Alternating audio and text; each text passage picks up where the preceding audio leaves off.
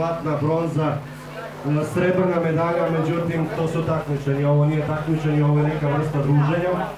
Tako da mi je drago da vas sve vidimo ovdje i ovaj, da sam upoznao neke ljude. E,